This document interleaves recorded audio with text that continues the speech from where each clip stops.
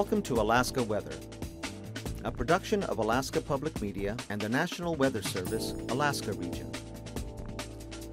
Produced and broadcast daily from the studios of KAKM, Alaska Weather provides complete forecasts, public, marine, and aviation for all of Alaska. Alaska Weather is made possible by the following sponsors.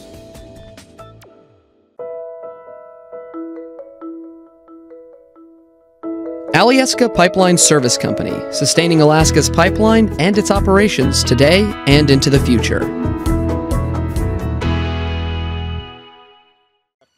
Find a living in fisheries. The UAS Fisheries Technology Program offers online study from anywhere in Alaska, plus labs and workshops in many Alaska towns.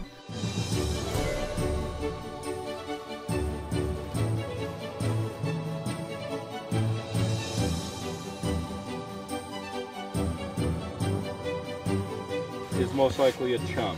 Find your living without leaving where you are. Fisheries Technology from UAS.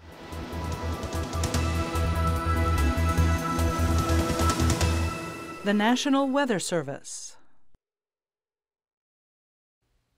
And good Thursday, everyone. I'm meteorologist Dave Snider with the National Weather Service. It is the 30th of March. We are almost toward the end of the month. And as always, we encourage you every day of the month to stay up to date on your local weather situation there in uh, any part of Alaska and yours. Now, if you're in Southwest Alaska, things have been fairly quiet and they are changing now. So it's a good time in Southwest to sit up and pay a little more close attention than you have for the last several days, several weeks for that matter. Great flying weather as I understand it. Uh, the number to call is 800-472-0391. You can always find us online at weather.gov slash Alaska or Anchorage slash Juneau slash Fairbanks, however you like to get there. And a lot of these pages have low bandwidth options. So if you need to find something that works a little bit better on your mobile device, if you're not in the greatest area for reception or you're on just a lower connection there on your PC or at the school or wherever you are, uh, there should be some better options for you. If you can't find what you need, let us know. nws.ar.tvweather at noaa.gov is the best way to email us. And of course, we'll always take your phone call as well. Here's a look at what's going on around the state. We have no watches, warnings, or advisories tonight, so things are fairly quiet there. Out in Marineland, around the Barrens, the Shelikof Strait region, we do have storm warnings in effect tonight. Many other areas all the way around the Horn uh, for the northwest and eastern Gulf Coast are under some type of gale warning. Uh, those are a little bit stronger there across some of the northern Gulf Coast. And obviously we have a weather system trying to work its way northward.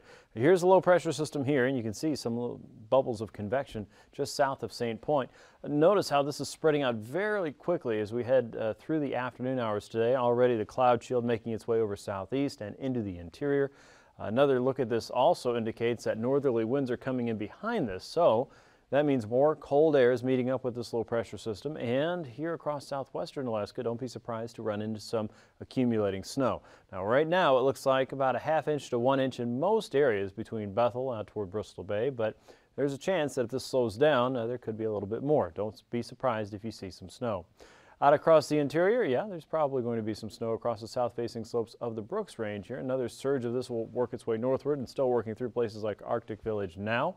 On the north side, uh, fairly dry conditions, high pressure is still in charge, and that north and northeasterly flow coming down through the Bering Strait will keep things breezy and cool. Probably enough breeze to move some of the snow that's on the ground around and uh, continue pushing the ice edge towards St. Paul and St. George. You can see it here on the visible satellite picture. There's the islands, uh, not easily seen under all this, but uh, this big bright white section here is just a part of the ice, so we'll have a better analysis of it for you as we always do a little bit later.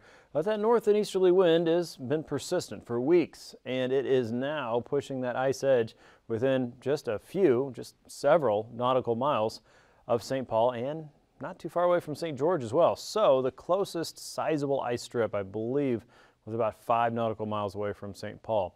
Uh, but if we check the analysis a little bit, it's going to look like it's right on top of the island. The main ice edge, the 80% concentration and higher, is still a little bit further away, but it's still creeping your way if you're in St. Paul and St. George. Here's a look at the weather map then tonight. Uh, low pressure sitting at 967 millibars across the western Gulf. That is sending a warm and wet surge of air across the northern and western Gulf and towards southeast, where we've already seen a few pockets of uh, rainfall today, including some areas around the Northern Canal down towards Stevens Passage. and into the icy strait region. You'll notice uh, some pockets of heavier snowfall across the western Prince William Sound today. Uh, no surprise there that uh, moisture being shoved right up against the Chugach Range and the Kenai Mountains, squeezing out uh, some periods of uh, occasionally moderate snow.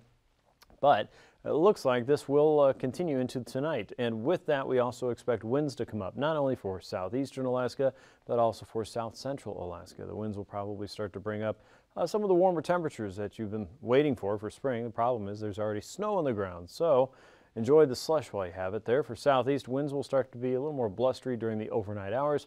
Periods of rain and snow a little bit further north into the northern Lynn Canal and out across Bristol Bay. Here comes snow for you all the way up toward Bethel and uh, down toward the Bering Sea coast of the Alaska Peninsula.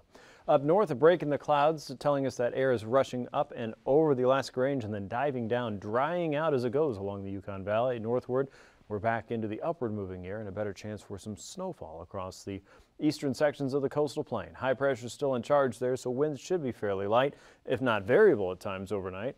And then the air rushes back down through the Bering Strait, blowing and drifting around at times if it's strong enough and it looks like uh, you'll have some occasional blowing snow, uh, mainly offshore, all the way through uh, either side of the Bering Strait, St. Lawrence Island, Little and Big Diomede, and down around St. Matthew to Nunivak Island.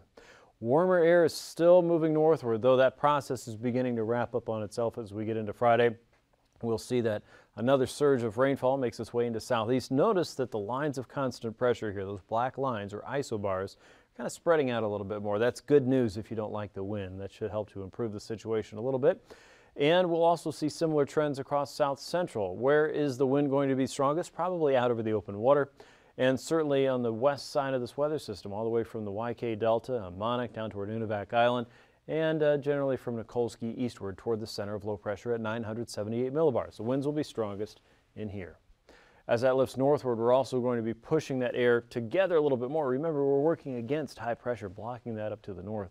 So the winds are going to start to pick up across some of your northern passes. So we'll be watching for changes in ceiling and visibility there. It doesn't look like a major threat for any significant snowfall, but it does look like the winds are going to come up and probably be a little more chop as we get into Friday and Saturday. A boundary of uh, weather uh, sitting right across the Yukon Valley. So low pressure sits out across the YK Delta. Snow showers on the north and west side. Accumulating snow still possible around Bristol Bay. Remember I said if that weather system stalls out, there could be more. So right now we're looking at about a half to one inch. It doesn't look like it's ever going to be terribly heavy snow, but there's a possibility that some of that could change if the position of this changes a little bit more. Across the northern Gulf Coast, rain and snow becomes more likely in many communities, especially around Prince William Sound, and for many around Anchorage and all the way south toward Kenai and uh, probably Homer the air rushing over the mountains should preclude a whole lot of precipitation, but don't be surprised if you see a raindrop or a snowflake from time to time. Across southeast, look for periods of rainfall here across all of the panhandle. Again, the lines of constant pressure telling us that there's probably going to be a little bit of a stiffer breeze, but it may not be horribly windy across the region. All that said, keep an eye on uh, flying conditions because it does look like low-level wind shear will be an issue all the way around south central to southeast and probably into the Alaska Peninsula, especially tomorrow as this weather system's moving in and could easily continue into Saturday with a map looking like that. Your forecast today, well, let's start with current conditions. How were things today before we get into the future? Uh, mid to upper 40s for many across southeast, Ketchikan, Craig, Klawock, Hyder, Sitka, Petersburg, everybody enjoying temps in the lower to mid 40s.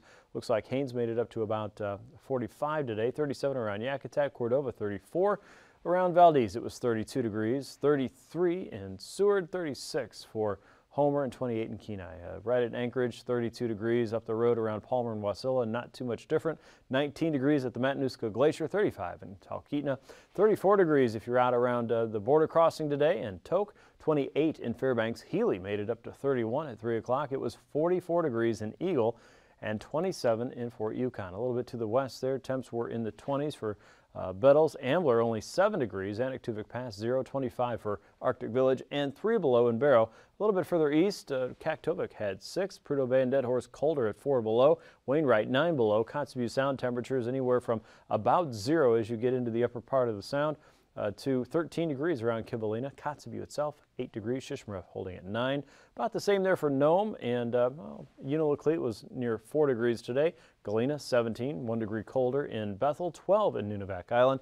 20s and 30s for Bristol Bay, 19 degrees in St. Paul, 24 in St. George. The Alaska Peninsula had high temperatures in the lower to mid 30s this afternoon.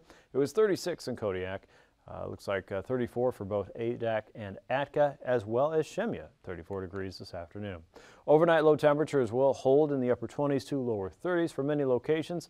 Uh, you'll notice the Parks Highway system all the way down toward uh, the Cook Inlet region, 37 in uh, Kodiak, 20s and 30s for the Alaska Peninsula, Dutch Harbor and Unalaska looking at 29. Southeast, lower to mid 40s, uh, the middle Tanana Valley, back in the mid uh, mid teens, I should say. Uh, anywhere from 10 to about 15 below for the North Slope. Kotzebue Sound, 5 to 10 below. Nome, you're looking at 4 below overnight with a high of 15 tomorrow. Mid to upper 40s for many in southeast. South central, mid to upper 40s for you. Kodiak 42. Fairbanks around 40 degrees, mid 40s uh, again for the Anchorage area. Up around Arctic Village, 18 degrees. Anaktuvuk Pass, a colder 4. Barrow down to 2 degrees. Kotzebue Sound back in the single digits again, a high of 15 for Nome. Savoonga looking at 16 for your Friday. And the YK Delta, let's say north of Emmonak, anywhere from the upper teens and lower 20s. South of Bethel, you're in the upper 20s to lower 30s, maybe even 40 degrees around King Salmon. And again, that snow is going to be very particular about where it lands because of that low pressure system moving in. So weather conditions are changing in the YK. Here's a look at flying weather then. Wow, uh, IFR across a large chunk of southeast all the way around the Gulf Coast, up Cook Inlet and the western Alaska Range, as well as uh, many in the Bristol Bay region and the Alaska Peninsula. And that's just down south. Up north, we have IFR conditions across the northern parts of the uh, Seward Peninsula and southern Kotzebue Sound, as well as the northern coastline and uh, the coastal plain itself up north on the slope. MVFR conditions there by the afternoon, so some improvement noted. IFR conditions continue around parts of southwest and uh, just south of Bethel, so some villages may be locked in a good uh, chunk tomorrow, so if you've got flying plans, you might want to check that. IFR conditions around Cook Inlet to the eastern side of Kodiak Island and all the way back in toward uh, uh, Naknek. And then as you get up toward uh, the northern Gulf Coast and a large chunk of the higher terrain for southeast, especially in the inside waters up through Lynn Canal, IFR is expected in the afternoon. So again, changing conditions for you. Anaktuvuk Pass, IFR to start. Some improvements are possible moving from west to east during the day, so watch for VFR conditions to develop by the end of the day. Lake Clark and Merrill Pass looks like you're going to sit at IFR through most of the day if you're trying to get through there. Uh, Rainy Pass also expecting IFR through most of the morning hours. Windy Pass may hold at marginal conditions through a good chunk of the day. Looks like Isabel Pass also starting out at IFR. MVFR conditions develop by the afternoon. Mentasta Pass right now looks to escape with VFR through most of your Friday. Tahneta Pass, we expect to see IFR conditions, maybe some improvements toward MVFR, so keep watch on that. Again, uh, low pressure hovering very close to the region may sling just enough moisture in the right spot for that to improve. Uh, moisture conditions there in Portage Pass, not so much. Looks like IFR, especially on the eastern side. So keep an eye on that if you've got travel plans. And again, Chilkoot and White Pass, it looks like conditions actually worsen through the day, but may actually start at IFR. So keep an eye on changing conditions there up and down southeast. Freezing levels show that warm, wet air is working its way up through southeastern Alaska right now and overnight and into the early morning hours. We expect that 2,000 foot freezing line to be right over the capital city and closing in on Glacier Bay south of Sitka to about Haida Gwaii. Levels increase to about 4 to 6,000 feet. Around the Alaska Peninsula from about Sand Point southward, you can see levels there above 2 to 4,000 feet. The surface freezing line still just north of all that, uh, running right through Bristol Bay and then dropping south of the Aleutians for your start tomorrow. Icing potential, yeah, uh, looks like moisture is increasing enough for that to be an issue across the North Slope and the eastern Brooks Range above 2,000 feet. We're going to call that light to isolated moderate. A better chance for a little more moderate icing across the western side of the low pressure system, which is going to be right about here. Uh, so at least light to isolated moderate across parts of southwest and the Alaska Peninsula, but an increasing threat for occasional moderate tomorrow. So keep an eye on that. Make sure you're checking out the Alaska Aviation Weather Unit pages for the very latest updates. And of course, your PIREPs really do matter quite a bit. Across the northern and eastern Gulf Coast, again, an increasing risk for icing. We're going to call this occasional moderate right along the coast, and this will be very close to that frontal boundary as it's working in toward the coastline above 3,000 feet. How about the jet stream? Well, the powerful Pacific jet is taking on kind of a new configuration here, a very fast moving superhighway of weather moving south of uh, Alaska by a long shot, and there's several interruptions in this, but overall, it is a, a fairly powerful trough that's encompassing a large part of the North Pacific. Uh, high pressure is in the middle of that, trying to slow things down, but what it's really doing is helping the conveyor belt move moisture uh, right across the Aleutians and then right into the Gulf. We also have another ribbon of fast-moving air coming out of southwestern Alaska and into western Canada. So the focus for the really big stuff right now is still well to our south. Any Pacific systems that have a good amount of moisture are moving into the Pacific Northwest. But a few pieces of that are snaking its way right through here and into the Gulf, and that's what we're experiencing tonight and into the next several days for southeast and south central. At 9,000 feet, a low pressure system in the morning will be hovering very close to Cape Newenham. Uh, temperatures or wind speeds 20 to 50 knots with north winds up to 30 to 50 knots coming through the eastern chain. Southerlies picking up a little bit more for southeast as well, 15 to as high as 35 knots. Winds are still fairly light in the interior, especially the northern interior. And then across the west coast, uh, winds still moving in from the north and east, especially across Kotzebue Sound and the Seward Peninsula. At 3,000 feet, low pressure is a little bit further south and east, uh, not too far away from Sand Point or Fognak. Uh, looks like northerlies coming across Norton Sound at about 35 knots or so. Southerlies off the Gulf move into the Chugach Range and uh, the Kenai Mountains anywhere from 10 to 20 knots. A little bit more of an easterly flow through the upper Yukon and the Brooks Range, 15 to 20 knots there and over the North Slope. For southeast, your wind speeds off the eastern Gulf coming in from the south at about 10 to 40 knots for your daytime tomorrow at 3,000 feet. Here's turbulence, and as you would expect, with more winds come more uh, uh, chances for at least low-level wind shear, and that's kind of what we've got painted on here today. So isolated severe for tomorrow across the interior of southeast and across Cook Inlet and western Prince William Sound and the Kenai Peninsula there. Uh, many areas also looking at increased risk for occasional moderate for southwest, the Alaska Peninsula, the eastern chain, and once again the northern Gulf Coast and parts of southeast. Uh, also watch for chop through the Bering Strait and St. Lawrence Island. That's a look at your aviation forecast. I'm back with the Ice Edge update and your marine weather here in just a few minutes. Stay tuned.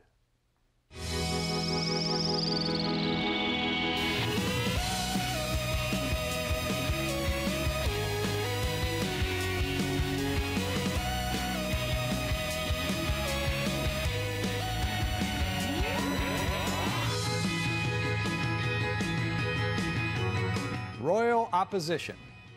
Welcome to Stargazers. I'm James Albury, director of the Kika Silva Pla Planetarium in Gainesville, Florida. And I'm Dean Regas, astronomer from the Cincinnati Observatory. If your favorite planet is Jupiter, have we got a show for you? That's right, James. Jupiter is in such a great location for viewing right now. We've devoted this entire episode to the largest planet in our solar system. Plus, on April 7th, you'll get to see Jupiter at its biggest and brightest. Let's show you. Okay, we have our sky set for 10 p.m. any night this week. If you look toward the east, you'll see Jupiter among the stars of Virgo the Maiden.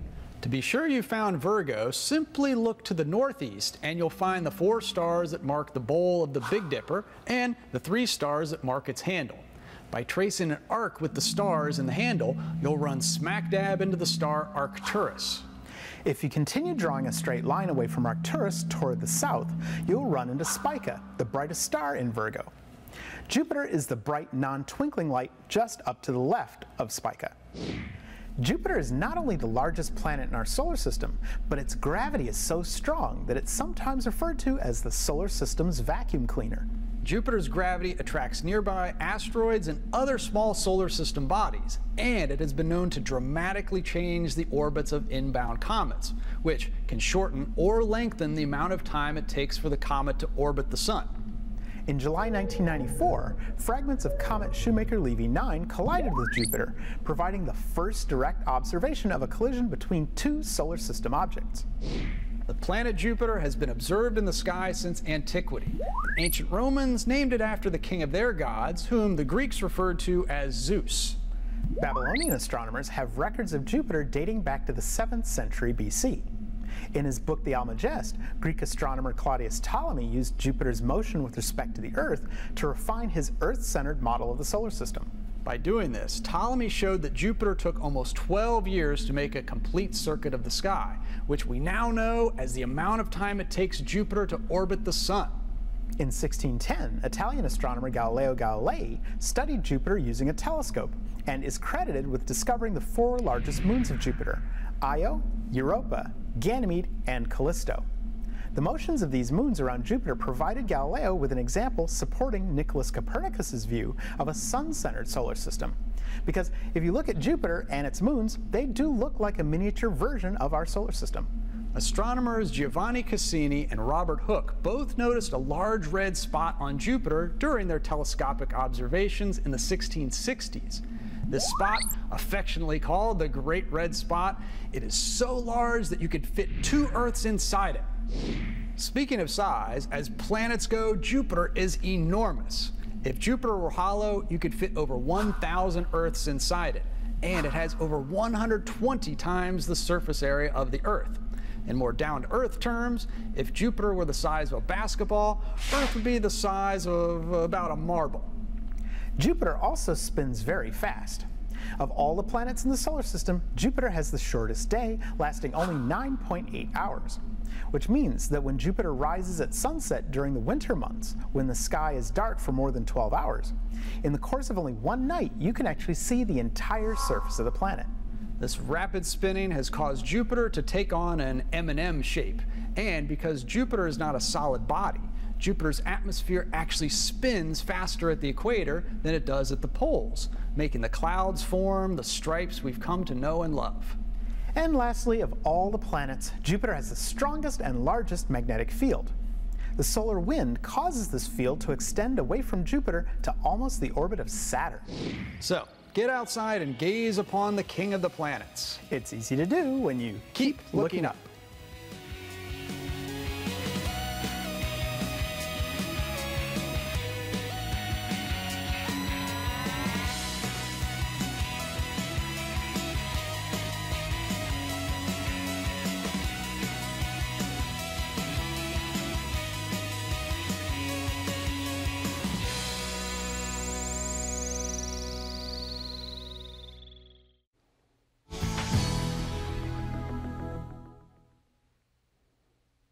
Quick check of the ice edge tells you what you need to know here if you're in St. Paul and St. George.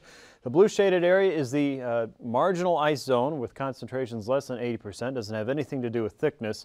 The white area is above 80%, and that is the main sea ice pack there. As this is moving to the south and west on that northeasterly wind, this has been getting closer and closer to St. Paul. And if you look very carefully, there's the red dot and there's the blue line, and uh, those two things are not very far apart. It looks like the nearest sizable strip again is about five nautical miles or so from St. Paul to the north and east. However, with persistent north and easterly winds the next couple days, that could get a little bit closer. So if you're in St. Paul or St. George, it's very possible that you're going to start seeing a little more ice there. And we would love to know about that. Please go to weather.gov slash anchorage slash ice, or if you have our Sea Ice Desk phone number already, we would love for you to use that. Let us know what you see in St. Paul and St. George, as that helps everything out across the Bering Sea, and we love to pass on that information and love to update our map. So let us know. Weather.gov slash anchorage slash ice. Here's a look at southeast now. Strong southeasterly winds will be a little more gusty as you head into the inside waters tomorrow. 30 to 40 knots there with 6 to 11 foot seas. In the Lynn Canal, southerlies at 20 knots with a 4 foot sea. The outer coast 25 to 30 looking at 13 to as high as 15 foot seas across the outer coast tomorrow.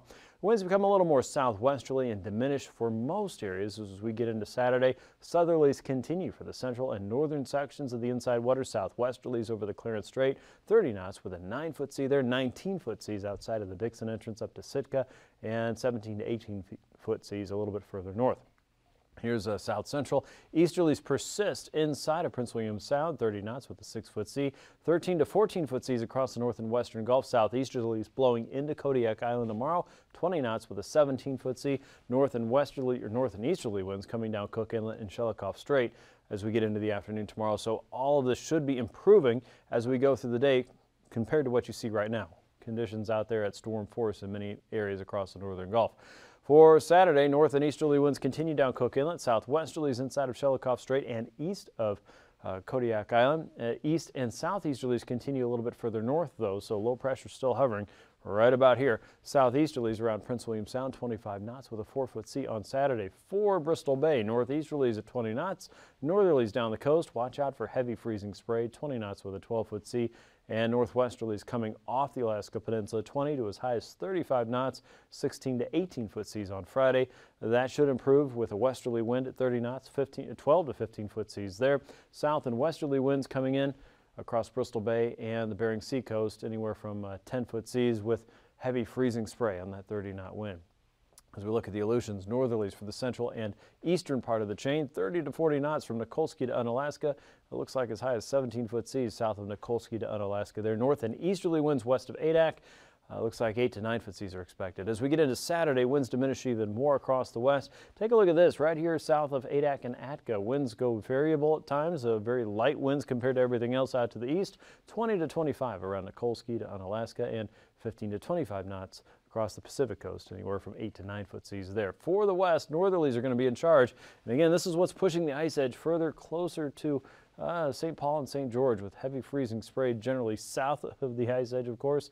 Uh, that should pick up a little bit uh, just uh, in the vicinity of the ice edge. And then, of course, with the wind staying up, uh, it could continue a little bit further south as well. 25 to 30 knots, 6 foot seas around St. Matthew, 9 foot seas around the Pribilofs. That becomes a northwesterly flow on Saturday. Uh, many areas looking at 25 knots throughout the day, more of a northerly flow around St. Lawrence Island and into the Bering Strait. Also outside of Kotzebue Sound, winds are fairly light though across the Chukchi and the Beaufort Seacoast for your Friday, 10 to 15 most areas. Uh, looks like 10 to 15 knots for the Beaufort Seacoast on Saturday. Northeasterlies picking up down the Chukchi coast as well. From Barrow down toward Point Hope, you'll see a difference of about 10 knots or so, but all of these blowing from northeast, uh, becoming northerly outside of Kotzebue Sound. Let's recap tonight's weather. Low pressure is in charge of the Gulf again, and that's blowing a front into the northern and eastern Gulf Coast, picking up winds for southeast tomorrow and tonight for south central, and tomorrow for the Alaska Peninsula. Rain and snow possible for many locations, accumulating snow possible for areas between Bethel and uh, the Aleutian Range generally about a half inch to one inch there, but winds will be coming up from the north for many locations across the west coast. Watch for some pockets of snow on the north slope with areas of rain across many of the uh, Gulf communities. Thanks for watching. These forecasts are to be used for planning purposes only. Call 1-800-WX-BRIEF for a formal pre-flight briefing. Always file a flight plan before you go flying. The U.S. Coast Guard Auxiliary urges you to leave a float plan with a friend or the harbor master before you go boating. Alaska Weather is made possible by the following sponsors.